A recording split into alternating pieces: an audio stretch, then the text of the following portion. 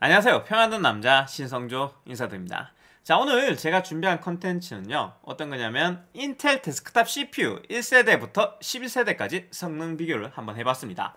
제가 예전에 9세대까지 비교한 영상이 있었는데 그거는 PassMark 기준이라서 여러분이 오차가 좀 심한 bench tool을 사용한 거 아니냐라고 많이 얘기를 해주시더라고요. 그 리뉴얼 해달라고 얘기를 하셨기 때문에 이번에는 그래도 좀 더 정확한 Cinebench R20을 이용해서 1세대부터 11세대까지 멀티 성능 위주로 비교를 해봤습니다. 싱글 성능도 사실 같이 비교하면 좋았을 것 같은데 표가 너무 더러워져서 어쩔 수 없이 멀티 성능 위주로 비교를 했고요. 요건 그러면 어떨 때 쓰면 좋은가요? 중고 구매자 혹은 업글 예정자가 내가 살려고 하는 CPU가 가성비가 좋은 CPU인지 성능을 한번 비교해 볼 수 있는 지표로 쓰시면 좋을 것 같네요. 물론 재미삼아 보는 것도 괜찮을 거예요. 제가 그냥 단순히 성능 얼마 얼마 차이 난다 끝낼 게 아니라 음, 제가 2세대 나올 때부터 업자였거든요. 그러니까 그때 어떤 사건이 있었는지 막 버무려서 얘기해 줄 테니까 재미삼아 보는 것도 괜찮을 것 같고요. 그리고 마지막으로는 이제 10월 말쯤 되면 인텔 12세대가 나올 텐데요. 그 나오기 전에 정리용으로 준비한 영상이라 생각하시면 될 것 같네요. 자, 그럼 구독과 좋아요 잊지 마시고 한번 펴러보면서 설명을 들어보도록 하죠. 일단 1세대는 Lynnfield하고 Clarkdale이라고 두 가지로 불렸습니다. 물론 뭐 extreme 라인업에 Bloomfield나 아니면은 Gulftown이라는 게 있었는데 그거 사실 뭐 별로 없었으니까 Lynnfield 위주로 얘기할게요. Lynnfield 나올 때는 이미 Deneb이 나와 있던 시점입니다. 이 Deneb이 AMD의 quad core CPU고요.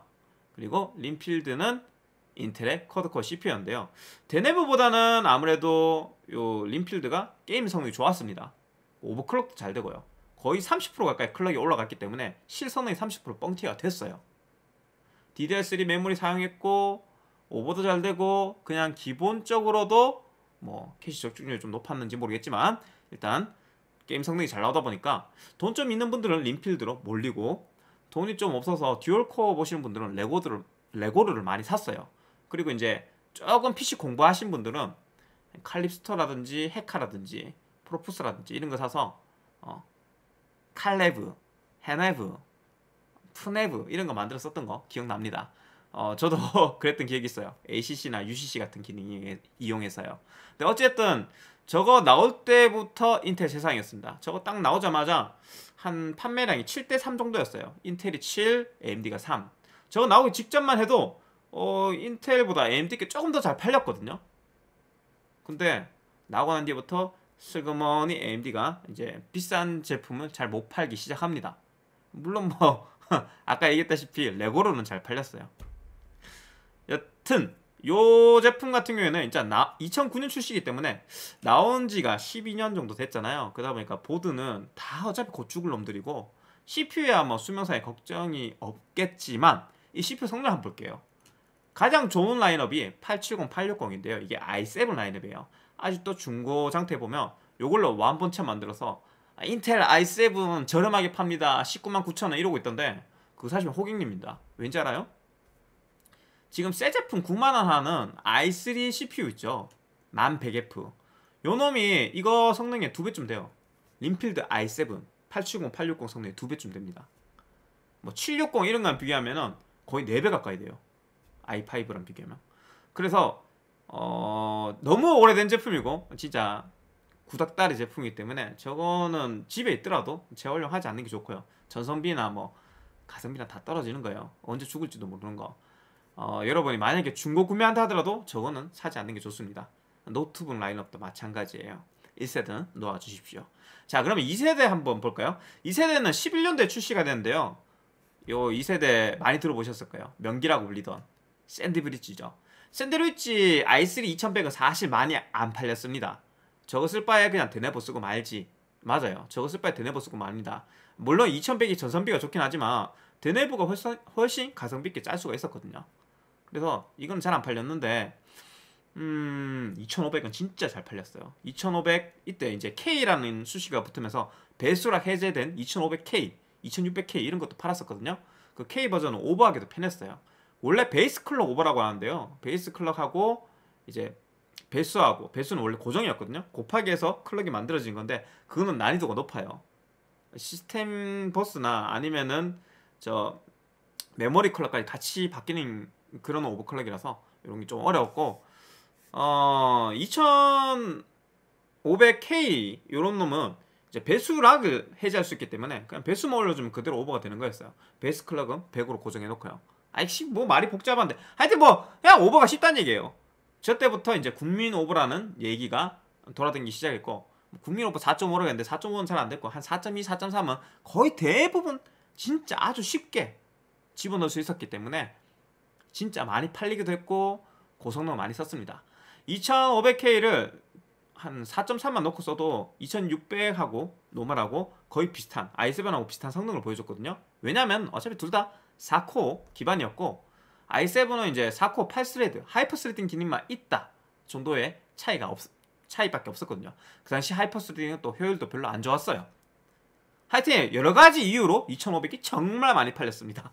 저 때부터는 뭐 드네브에 대자도 못 꺼냈어요. 아예 게임 하려면 2500 써야지 2500K 사자 뭐 이런 시기였기 때문에 고가의 보드도 나름 잘 팔리던 시기에 오버가 되는 하여튼 진짜 명기였는데 근데 지금 보니까 어떻나요? 이건 뭐 지금 나오는 9만짜리 i3 성능의 절반도 안 되죠. 이건 뭐 오버클럭 한다 해봤자 절반 수준밖에 안 될 겁니다. 어, 성준이 2600은 어때요? i7인데 그래도 그래도 뭐 절반 수준밖에 안 돼요. 그러니까 1, 2세대는 지금 와서 옛날을 추억하면서 쓰기에는 너무 옛날 제품입니다. 어, 진짜 오래된. 어, 물론 뭐 SSD 꽂아가지고 아직까지 나는 웹서핑용으로 잘 쓰고 있다 하신 분들이 분명히 있을 수는 있는데 사실 게임 용도로 쓰기에는 부적합하죠. 요새 나오는 그래픽 카드들은 커버가 안 되는 제품. 그래서 중고로 구매하는 걸 비추천드립니다. 자, 그 다음은 어떤 제품이었냐면 Ivy Bridge라는 게 나왔습니다. 이게 3000 시리즈가 Ivy Bridge인데 3000 시리즈는 사실상 망한 라인업이에요. 왜 망했냐면은 soldering을 계속 해주다가 이 3000 시리즈부터는 soldering을 안 해줬습니다. 그래서 아이비 브릿지의 그 throttling 온도가 그 이전 2세대랑 다르게 110도까지 높았던 걸로 기억해요. 그리고 저 때부터 뚜따가 유행했습니다. 제가 뚜따 한 번 해주는데 3만원씩 받으면서 쏠쏠하게 용돈벌이 하기도 했었어요. 근데 사실 손님 오면은 저 별로 추천 안 했어. 자 이거 2000C 쓰고 있다 그러면은 굳이 사지 마세요 라고 하고 돌려보내는 경우가 많았고 뭐 1세대 쓰고 있는 분들이 저거 산다 그랬을 때는 어 뚜따 같은 게 해서 오버해서 쓰면은 좋긴 하다 뭐 이런 걸 설명하긴 했었는데 강의 추천이 좀 아, 애매하긴 했어요. 저게 1년밖에 차이 안 나서 2세대 30, 3세대가 같이 팔렸었거든요. 그래서 3세대가 가격이 비슷해졌던 시점부터 2세대랑 판매를 좀 했던, 했던 기억이 있고 2세대가 3세대보다 좀 쌀 때는 3세대를 제가 거의 안 팔았어요 일부러 하여튼 그랬던 기억이 나네요 성차이가 얼마 안 났어요 이거 내가 기억하기에 한 10% 날까 말까였는데 지금 점수로 봐도 그렇죠 어, 3770이랑 2600이랑 비교하면 얘네들 성능 차이가 한 10% 정도밖에 안 납니다 10%뭐 12% 이래 나겠네요 어, 그래서 이 아이비 브릿지는 망한 세대였다 어, 저 때부터 어, 인텔이 솔더링 안 해주고 어, 원가를 절감하기 위해서 똥서머를 팔라서 CPU를 팔았다라고 생각하시면 될 겁니다. 여전히 4코어가 제일 좋은 CPU였고요. 지금 중고로 사기에도 안 좋은 제품이니까 굳이 손댈 필요는 없습니다. 자 그럼 4세대 4세대는 나름 명기였습니다. 이게 DDR3의 마지막 세대였거든요. 그리고 그러다 보니까 좀 처음에 나왔던 걸 refresh해서 클럭을 최대한 올려서 판매한 어, Devil's Canyon refresh라는 제품도 있었어요. 그거 뚜따고 막 5.0 찍고 쓰는 분들 좀 있었습니다. 4.8, 5.0 요 사이로 찍어가지고 극한의 오버를 해서 어, 맛보겠다 이러고 쓰신 분들 좀 있었죠. 저도 저거 또 따해서 좀 팔았습니다. 이게 왜 그랬냐면은 3세대하고 4세대는 성 차이가 좀 나요. 지금 보시면 알지만 3770하고 이 4790하고는 점수 차이가 500점 넘게 차이 나죠. 500점 정도 차이면 거의 30% 가까이 성능이 뻥튀가 된 거고 저기 4790K라서 그만큼 많이 차이 나는 거긴 하지만 4770을 그 봐도 사실상 점수 차이가 좀 많이 났어요. 400점 이상 차이 나니까 1400점에서 400점 올라가면 얼마예요? 25% 가까이 올라가는 거예요. 뭐 400점 넘게 올라가니까 맞나? 20%인가? 하여튼 어, 그 정도 올라가기 때문에 성 차이가 제법 있었던 걸로 기억합니다. 2세대, 3세대랑 3세대, 4세대랑 보면 3세대, 4세대가 차이가 더 컸어요. 하지만 지금 와서 4770이나 4790을 보더라도 어, i3 만 100F한테 정리됩니다. 9만째 CPU한테 다 정리돼요. 그리고 저거 H 뭐 B81 그리고 B85 어, 뭐 이런 보드 썼던 걸로 기억하거든요. 어, Z87하고 맞는 것 같은데 고 고 보드들이 지금 나왔는 지가 벌써 얼마 됐어요. 거의 10년 다 돼가죠. 뭐 8, 9년쯤 됐으니까 저것도 이제 아직 살아있는 보드도 얼마 안 있으면 다 죽을 놈들이에요. 그렇기 때문에 지금 와서 중고 사기에는 좀 애매하지 않냐? 그리고 DDR3 때문에 아무래도 게임 성능이 좀 떨어지지 않냐라는 생각이 듭니다. 여튼 4세대에 대해서 요까지만 설명하고요. 저 때 그리고 저 그 2, 3, 4세대 사이에 경쟁사에서 뭐 팔고 있었냐면은 불도저를 팔고 있었어요. 불도저 FX 시리즈가 2011년에 출시됐고 저게 아마 13년도에 refresh가 한번 되긴 됐을 거야. Vishera로. 어, 근데 똥이었어요. 이게 나, 나중에 찾아보면 알 텐데 진짜 똥이었습니다.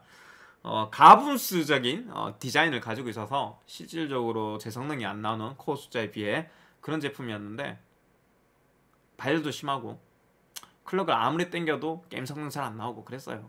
그렇다고 뭐 그때 다중 코어 잘 지원하는 뭐 프로그램이 있었던 것도 아니라서 뭐 작업에 최적화되어 있던 것도 아니었습니다.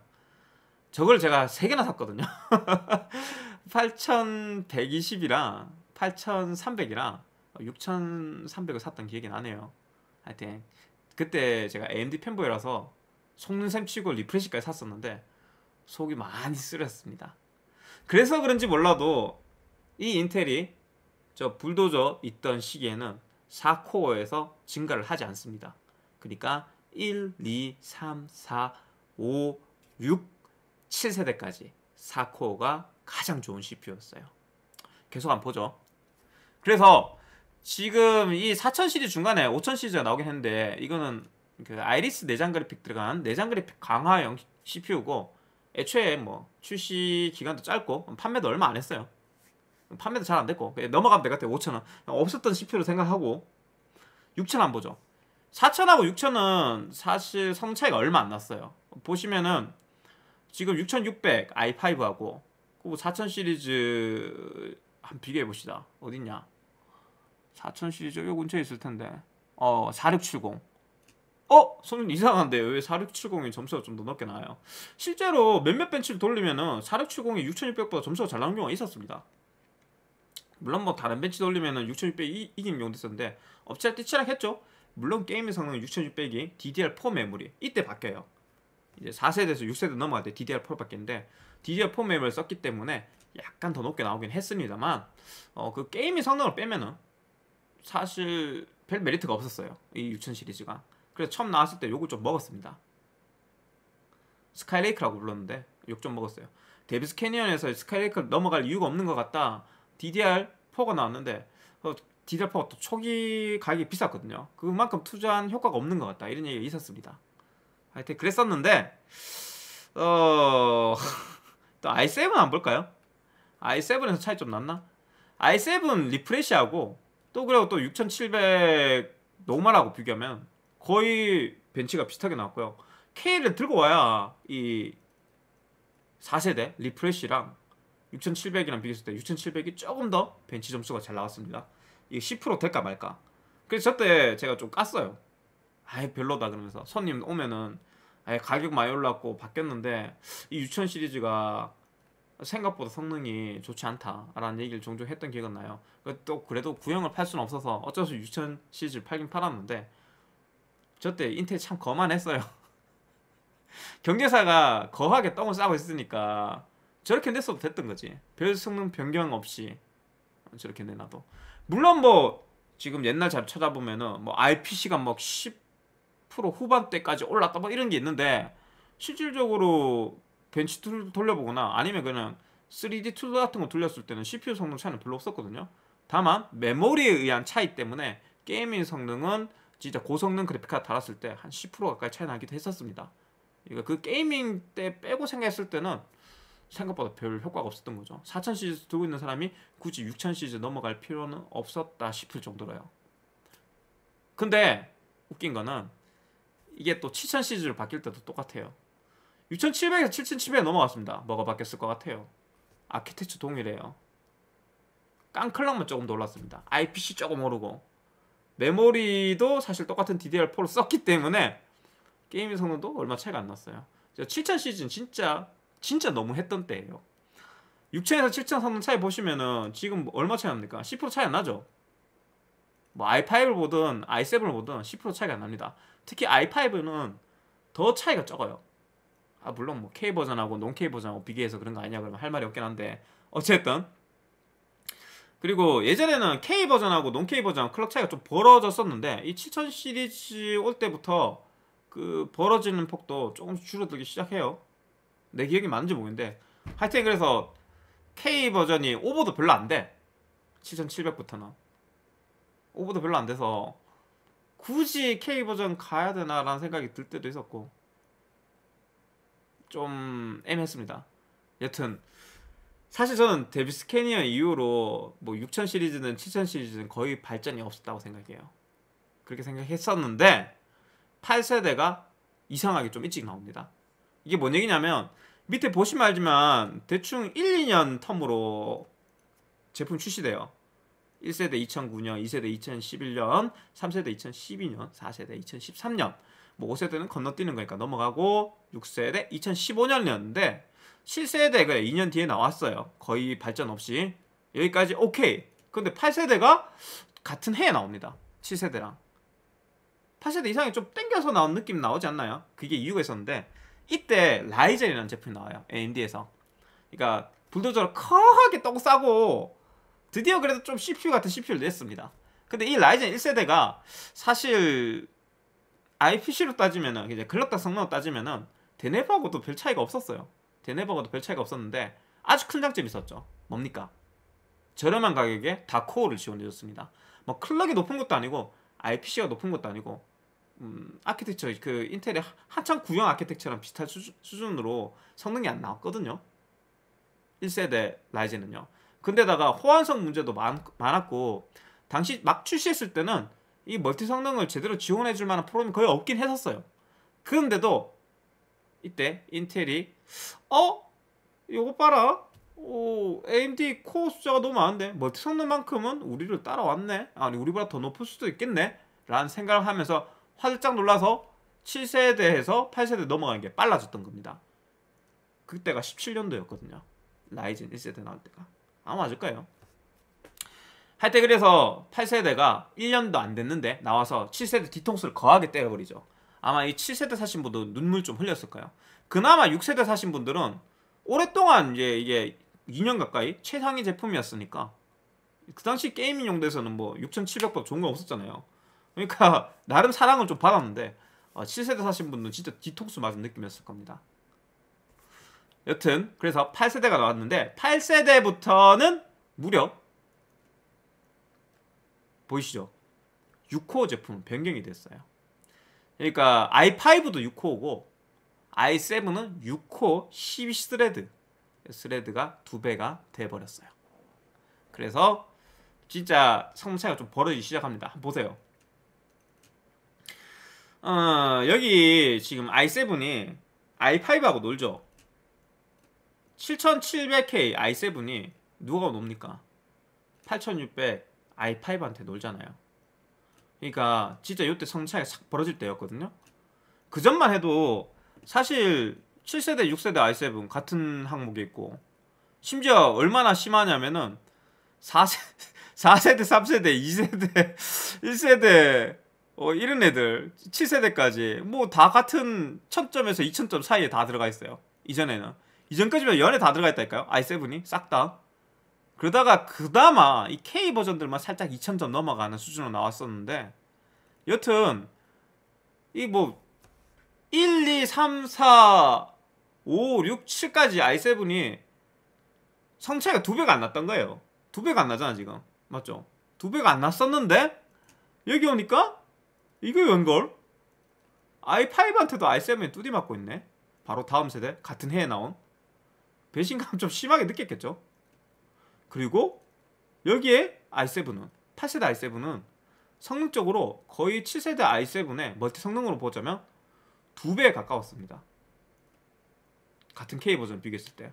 좀 과장했는 거 아니냐 하실 수 있는데 뭐 2200점에서 3700점 가까이 됐으면은 너무 차이가 많이 나죠. 거의 두 배 가까이 차이 납니다. 그래서 8700.1000 나왔을 때 인텔 유저들이 환호했습니다. 와, 씨, 8700 성능 봐라. 와, 이거 또 따이가서 오버하면은, 와, 와, 했어요, 진짜. 근데 이게 갑자기 코어로 늘린 만큼 어떻게 됐습니까? 소비 전력량이 급격하게 뛰었죠. 그래서 뚜따를 거의 필수로 해야 되는 세대가, 세대가 됐어요. 저 8000 시리즈 i7은 뚜따 안 하고는 정상적인 사용이 불가능할 정도였어요. 적어도 일체형 순행은 박아야 됐거나 아니면 뚜따를 해야 좀 공랭 좀 괜찮은 상급으로 쓸 수 있거나 오버를 하려면 무조건 뚜따를 해야 됐다. 뭐 이런 얘기가 나올 정도로 저 때도 용돈벌이 좀 했습니다. 뚜따 해주면서 하여튼 그랬던 시절인데 확실하게 경쟁이 여러분한테는 좋은 영향을 끼치는 거죠. AMD하고 인텔하고 경쟁하기 시작했던 때가 딱 요때부터입니다. 그리고 어 라이제 2000 시리즈가 음, 1000 시리즈보다는 이제 훨씬 나은 클럭당 성능을 가지고 물론 그래도 경쟁사한테는 밀렸지만 그리고 또 충분히 많은 멀티코어를 지원하면서도 저렴한 가격에 나왔었어요. 그게 아마 18년도쯤일 겁니다. 18년도쯤이라서 이세 라이젠 2000 시리즈 나왔을 때가 그때 인텔도 또 빠르게 생각보다 9세대를 던집니다. 근데 9세대는 별 바뀐 게 없어요. 8세대 해서 8세대랑 비교했을 때. 그래서 보시면은 이 i5끼리 같은 라인업에 있죠. 8세대, 9세대 i5 같은 라인업에 있고 그리고 i7급부터는 차이 조금 나왔어요. i7부터는 어떻게 됐습니까? 물론 뭐 8700K랑 멀티 성능은 똑같지만 코어 숫자가 8로 바뀌었죠. hyper threading 빠지고 그 요 위에 급 9900K i7은 차이가 그래서 벌어졌어요. hyper threading을 추가시켜줬으니까 멀티 성능이 좀 많이 올라갔죠. 그래서 8세대하고 9세대하고도 멀티 성능으로 따지면 꽤나 성능 차이가 났다라고 생각하면 됩니다. 어. 9700은 얼마 안 났지만 얘는 게임 성능이 조금 더 좋아졌고 8700 대비 그리고 9900 가면은 멀티 성능이 확연하게 좋아졌고 뭐 퍼센트에 따지면 한 20% 정도겠지만 그래도 그건 좀 큰 폭이죠. 20% 살짝 넘게 성능이 올랐습니다. 음 거기서 끝나면은 좀 재미가 없을 텐데 라이젠이 또 3000 시리즈를 내놨어요. 19년도에 9세대 나오고 한 해 지나서요. 그러니까 이 슬슬 이제 똥줄 타기 시작하는 거야. 인텔도. 그래서 10세대를 내놨는데 이 10세대는 거기서 한 번 더 무리를 합니다. 8코어도 사실 온도로 따지면 한계점이 있거든요. 근데 이, 거기에 2코어를 더 때려박은 거야. 최상위 라인업에. 그러면서 i9이라는 라인업을 만듭니다. 이게 10900K죠. 얘는 10코어 20thread입니다. 지금 인텔 나온 그 일반 데스크탑 제품 중에서 10코어짜리는 저거밖에 없어요. 여튼 발열이 어마어마했습니다. 그 발열 잡으려면 어떻게 되겠어요? 사실상 9세대부터 soldering을 다시 해주기 시작했습니다. 발열을 못 잡았어요. 9700K 오버 잘 됐죠. soldering 돼 있어서. 저거 4.8, 뭐 5.0 오버 쓰시는 꽤 많았어요. 9900K는 soldering 돼 있어도 온도를 못 잡아서 난리였고요. 당연히 10세대도 soldering이 돼 있어야 되겠죠. 그보다 전력 소비량이 더 늘어나는데 코어도 늘어나고. 하여튼 그래서 저 때부터는 아 인텔도 작업에 좋다 멀티 성능 괜찮다는 소리를 좀 들었어요. 인텔의 위기감을 느끼니까 확실하게 성능을 팍팍 올려주던 시기입니다. 근데 저거 내놓고 저게 언제 나왔냐면 20년에 나왔거든요. 얼마 안 돼서 AMD의 5000 시리즈가 나옵니다. AMD 5000 시리즈가 진짜 최고의 한 5년? 10년? 10년 안에 나온 제품 중에 최고의 걸작이라 생각해요 CPU 중에서 저는. 진짜 그 기반이 없던 AMD가 여기까지 올라왔던 게 신기할 정도로. 왜 이 얘기를 하냐면 5600X가 gaming 용도에서 i7, i9을 잡았어요. 1900K가 게임에서 5600을 못 이깁니다. 서로 normal 비교하면. 물론 1900K를 오버를 빡빡하게 땡기면은 5600X 정도는 살짝 밟는 수준까지 올라오긴 합니다만 그래도 normal일 때 저 6코어짜리랑 10코어짜리랑 비교가 된다는 게 진짜 어마어마한 발전인 거죠. 이게 3000 시리즈만 해도 AMD가 이 정도로 내가 뻥튀기 될지 몰랐거든요, 사실. 할 때 그래서 인텔이 무리수를 던져요. 그 스카이레이크부터 저 10세대 10세대 제품명이 뭐였지? 기억이 지금 잘 안 나는데 하여튼 10세대까지 사실 아키텍처가 거의 동일했어요. 그냥 refresh 계속되는 기, 수준이었는데 어, 무리수 던지죠. 1년도 안 됐는데 11세대 출시하겠다고 무리수 던졌는데 하여튼 뭐 좀 딜레이 돼서 딱 1년 정도 채웠을 때 나왔습니다. 11세대가. 근데 IPC를 올리면 어떻게 됩니까? 어떻게 되겠어요? 뭐 구조를 바꾸기도 해야 되겠지만 전력 소비량도 늘어나고 똑같은 뭐 13나노에서 만들었으니까 거기다 깡clock도 좀 더 올려야 되고 하여튼 여러 가지 다양한 문제가 복합적으로 어우러져서 이 11세대는 10세대보다도 더 발열이 심한 제품이 돼버립니다. 이제는 뭐 커서 아니면 오버를 못한다 할 정도로 근데 확실히 IPC가 많이 오르긴 했어요. IPC가 10세대한테 비교해서 한 17% 18% 올랐던 걸로 기억하는데 근데 그게 게이밍에는 큰 영향을 끼치지 못했습니다.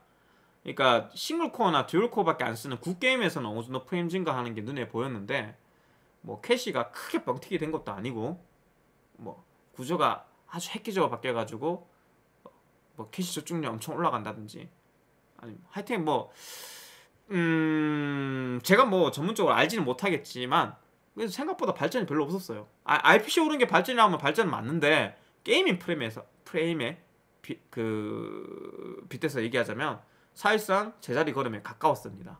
몇몇 게임 빼고는 거의 안 올라갔을 정도로 차라리 10세대 overclock 빡시게 했는 게 11세대보다 게임 프레임이 잘 나온다고 할 정도로 특히 11세대 같은 경우에는 그 기어 1, 기어 2 이러면서 아시다시피 1대1 동기화가 풀려요.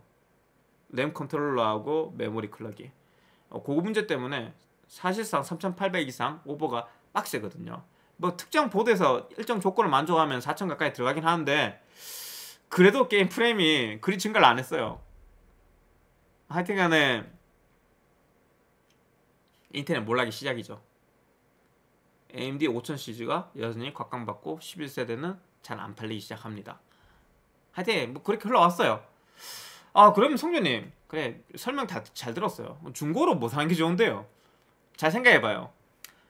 어 만백에 지금 9만원에서 10만원 정도 살 수 있습니다. 그리고 저거는 전력 소모가 아주 낮기 때문에 메인보드 7만원짜리로도 커버가 돼요. 6만원짜리 7만원짜리 합쳐서 얼마입니까? 15만원에서 16만원이면 메인보드랑 CPU를 살 수 있다는 겁니다. 나머지 조건은 거의 똑같겠죠. 근데 요 밑에 구형들이 사실 점수가 비슷해도 이거한테 게임 성능 확 밀리거든요. 지금 7700K가 점수가 비슷하지만 1100이 게임 성능이 조금 더 잘 나와요. 한 2, 3% 정도요. 20종 게임으로 비교해보면 2, 3% 정도 잘 나오고 좀 많이 차이 나는 게임은 5% 이상 차이 나요. 그래서 이 밑에 애들이 15만원에 CPU 보드가 만족되지 않다면 사면 안 되는 거예요. 여기까지. 간단하죠. 사면 안 되는 거야. 그냥 만백 써야지. 석준님 그러면은 일단 중고로 살려면 여기 여기서부터 보라는 얘기인가요? 맞아요. 여기서부터 보라는 얘기예요. 이게 그 정말 안타까운 게 i7이면 다 좋은 줄 아시는 커뮤니들이 많아요. 이 커뮤니들은 뭐 i7 샀어 중고로 싸게 이러고 막 신나가지고 거기에 이제 CPU 오퍼도 싸게 샀으니까 나머지 돈을 전부 다 그래픽카드 투자해서 그래픽카 좋은 거 하나 박으려 그런단 말이야. 근데 게임 성능 제대로 안 나와요. 지금 여기 있는 애들은 내가 장담하는데 단 한 제품도 이 i3보다 gaming 성능이 잘 나온 놈이 없습니다. 내가 지금 요 안에 들어가는 애들은 심지어 멀티 성능조차도 이 1100F보다 나온 놈이 한 놈도 없어요. 근데 여기 있는 등급 중고로 사고 i5 사든지 i7 사든지 그 고성능 글카 쓰려고 하면 답이 없다는 거죠. 그러니까 보드, CPU 합쳐서 15만이 넘는다면 여기는 살 값어치가 없다는 겁니다. 그리고 지금 7700K나 6700K는 어, i7을 i7을 해야지. 윈도우 7을 정식 지원하는 최고의 CPU거든요. 이 때문에 중고 가격이 이상해요. 얘네들 아직 20만 원 하더라고. 성능은 1100F보다 못한데. 그러니까 요놈들도 사면 안 돼요. 그럼 뭐 사야 되는데요? 어 그나마 이어서 살만하다 생각하는 애들은 1400 중고 아니면은 8700 중고는 너무 비싸더라고요 9700 중고 정도까지는 살만한 것 같아요 그 정도까지 살만하고 그 외에는 여기서도 살 게 없어요 왜요 성조님 내 생각에 살 게 좀 더 있는 것 같은데 여기 뭐 8500이나 8600 이런 거 사면 안 돼요? 아, 안 돼요. 저런 거 살 바에 딴 거 쓰세요, 딴 거. 그 차라리 그냥 3600 중고 사시거나 아니면 돈 좀 여유가 있으면은 이런 요 위에 급 중고 볼 필요 없이 그냥 5600 쓰는 게 맞습니다. 5600 쓰는 게 멀티 성능도 잘 나오고 지금 2등급까지는 커버 치잖아요. 맞죠? 멀티 성능 잘 나오고 게임의 성능이 2등급까지도 커버 쳐요. 여러분 어떤 용도로 쓸지는 모르겠지만 딱 정리가 됩니다. 이렇게 15만 원 이하 여기서 15만 원 넘으면 사면 안 돼. 왜? 이 만백이 다 커버 치니까 그리고 3600이 다 커버 치니까 요 밑에들도 사기 좀 애매해. 그나마 1400 중고나 9700 중고 좀 싼 게 있다면 이게 20만 원 초반을 넘어가면 안 돼요. 1400은 한 17만 원 정도까지 어, 그거 넘어가면 됩니다. 9700K는 다시 한번 얘기하지만 20만 초를 넘으면 안 됩니다. 20만 초까지. 어, 그거 살만하고 그리고 이제 요 위에 등급은 이거는 뭐 취향 나름이니까 뭘 안 하겠습니다. 어지간하면 5600이나 5800 쓰니 가성비가 좋지만 인텔을 꼭 쓰고 싶다면 말리진 않겠습니다. 딱 그 정도로 정리하시면 될 것 같아요. 이렇게 1세대부터 11세대까지 어떻게 컬러 왔는지 한번 정리를 해드렸어요. 어때요? 재밌게 보셨나요? 어 잡소리도 많이 했고 어, 자막을 달려고 보니까 30분짜리 영상 돼서 영상 그냥 올리겠습니다. 혹시나 못 알아듣겠다 싶은 음, 부분이 있으면 밑에 댓글 달아주세요. 제가 적어드릴게요. 그리고 뭐 내가 얘기했던 것 중에 틀린 내용이 있을 수도 있으니까 그런 거 댓글 달아줘도 괜찮고요. 이게 지금 내가 대본 짜서 영상 찍은 게 아니라 머릿속에 내용을 그대로 얘기한 거기 때문에 약간 음, 차이가 있을 수 있어요. 하지만 데이터는 정확합니다. 요거 다 아, 아까 얘기했다시피 시네벤치 R20 돌려서 나오는 점수를 넣어둔 거니까 요 데이터 가지고 멀티 성능 비교해 보는 거는 괜찮을 것 같아요. 자 오늘 영상은 여기까지였고요. 재밌게 보셨다면 구독과 좋아요 잊지 마시고 다음번에 더 좋은 영상으로 만나 뵙겠습니다. 여러분 바이바이 추석 특집 영상인데 좀 늦었어요.